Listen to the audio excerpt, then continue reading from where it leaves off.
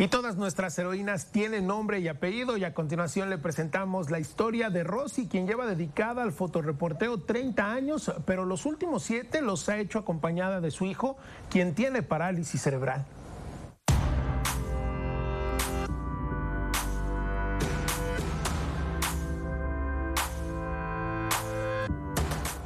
Todos lo hacemos juntos, trabajamos juntos, dormimos juntos.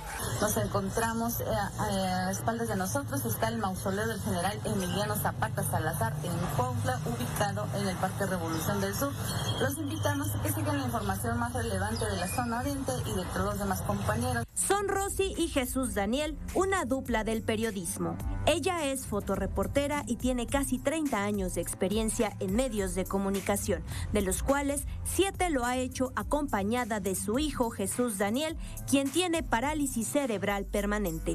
Para Rosy ser mamá y reportera ha sido difícil, pero no imposible. A pesar de que el periodismo es una profesión muy demandante, ella lleva a terapia a Jesús Daniel. y ambos se dan tiempo para reportear.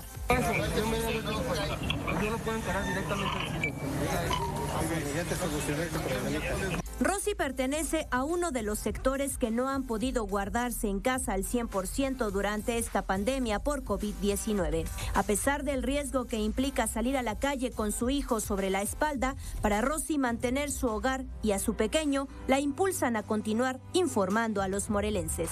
Así que cuando sale a cobertura, lo hace muy protegida. Llevamos gel, cubrebocas, la mascarilla, eh, hago mi trabajo y me retiro del lugar inmediatamente y nos regresamos a casa. Por lo regular, en esta pandemia mantengo también en casa, pero cuando existe la necesidad de salir, lo realizamos porque, bueno, eh, se tienen que comprar medicamentos, tienen que pagar cuentas. Ahorita en la atención médica en la Ciudad de México, eh, la dejé perder unas consultas porque allá siento que es más riesgoso.